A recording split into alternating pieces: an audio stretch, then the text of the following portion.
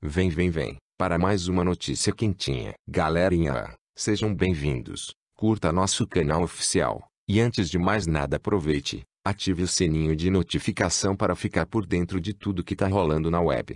Deixe seu joinha e se inscreva agora mesmo. E sem perder tempo vamos para a notícia do dia. Cantor Daniel tem doença revelada e fãs choram muito. O cantor Daniel conquistou uma carreira sólida no mundo da música sertaneja e sempre seguiu uma agenda de shows bastante repleta de compromissos. Porém, recentemente, o artista começou a travar uma batalha contra a síndrome do pânico e, inclusive, teve que tirar uns dias para descanso.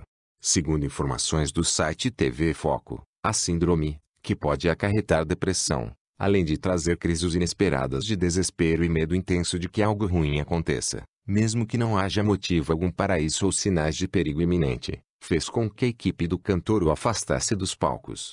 Daniel ficou alguns dias sem o celular e contando com apoio médico para se recuperar. Agora, recuperado, a presença do cantor, que é padrinho do Teleton, está confirmada na maratona em que se inicia na tela do SBT na noite desta sexta-feira, 9.